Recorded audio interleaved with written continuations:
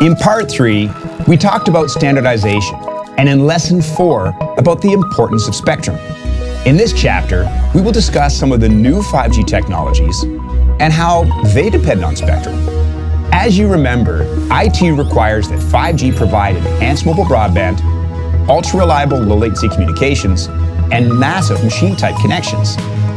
Concretely, these requirements will be met with the help of new technologies. We'll now look at some that have been standardized or frozen by 3GPP Release 15 and 16. We'll talk about new radio, massive MIMO, polar coding, and mobile edge computing. These innovations work together to address two of the ITU's requirements for 5G, enhanced mobile broadband and ultra-reliable low-latency communications. 3GPP standards for the third requirement, massive machine-type communications, were not frozen as we were shooting this video. New radio, beamforming, and massive MIMO are closely related. Massive MIMO enables new radio, and one of the main features of new radio is beamforming. So I'll describe these three together. MIMO, an abbreviation for multiple input, multiple output, is a type of antenna that's been around since the 4G era. In a nutshell, MIMO is a technology that maximizes the transmission and reception capabilities of multiple antennas to increase the quality, capacity, and strength of a radio signal. Originally, MIMO antenna units were made up of two or four antennas. 5G MIMOs contain as many as 64 antennas, and that's why they're called massive. Beamforming, a technology for higher frequency transmissions, is one of the capabilities of a massive MIMO. As we saw in the previous chapter, 5G will need a lot of spectrum, gigahertz of it. Some of that spectrum will be found in the low band, but the rest will be in the C band, as well as in the super fast millimeter wave high band. At higher frequencies, radio transmissions have a shorter range. Moreover, higher frequency transmissions can be more easily disrupted by physical objects, like walls or trees, or even rain. Beamforming helps to overcome that. When a massive MIMO detects that a terminal, that's a smartphone or a CPE, is located relatively far, several antennas will send out the same signal, but with different phases and amplitude. If antennas produce light instead of radio signals, a traditional antenna would brighten an entire room like a light bulb, whereas massive MIMO would illuminate objects like a flashlight. Beamforming is one of the main features of new radio, one of 5G's key technologies. New radio has another important feature, reducing the imbalance in the quality of coverage for uplink and downlink. In mobile transmissions, the downlink signal is stronger than the uplink because base stations have a much higher transmit power than mobile phones or other terminals. As a result, the coverage performance in downlink is much better. This issue is magnified if you go higher in the spectrum of radio frequencies.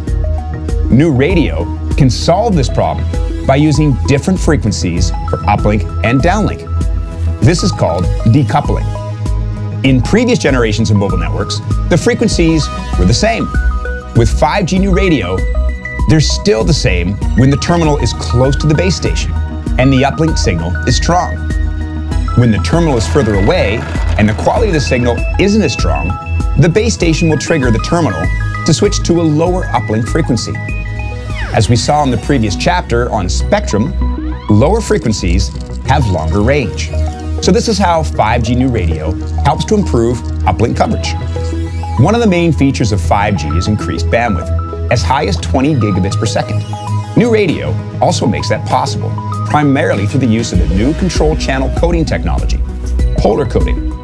Wireless telecommunications are limited by the constraints of a theorem from a US mathematician, Claude Shannon, who stated in 1948 that there is a fixed limit at which information can be reliably transmitted at a given bandwidth. But Shannon also said that a channel coding, a process for detecting and correcting errors, provides the means to reach that limit. Polar coding was discovered by the Turkish professor of electrical engineering, Erdal Arikan, in 2008. A breakthrough in wireless communications, polar codes are so far the only channel coding scheme that has been proven to reach Shannon's limit. In a nutshell, polar coding is a method for reducing the amount of redundant data that is sent over a radio signal to protect the integrity of a message.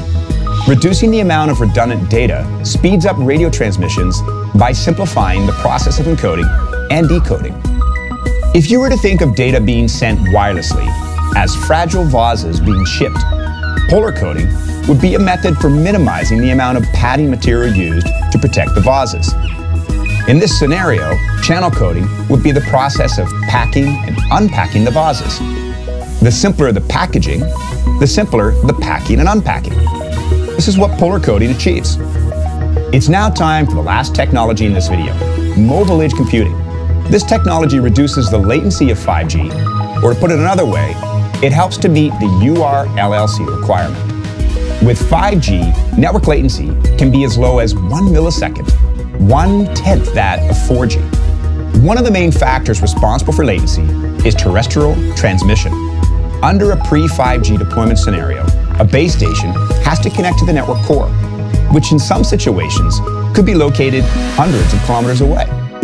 This is fine if the base station connects to the core network through a fully optical connection, but that's not always the case. 5G moves part of the core near the base station in the form of mobile edge or multi-access edge computing. Edge computing, also called cloud edge, consists of data servers of various sizes, some smaller than a desktop computer, and others the size of cabinets that are located near the base station in distances varying from a few meters to a few kilometers. Mobile edge or multi-access edge is one of the main methods used for reducing latency in 5G. And with this, this chapter on the technologies that make up 5G comes to an end.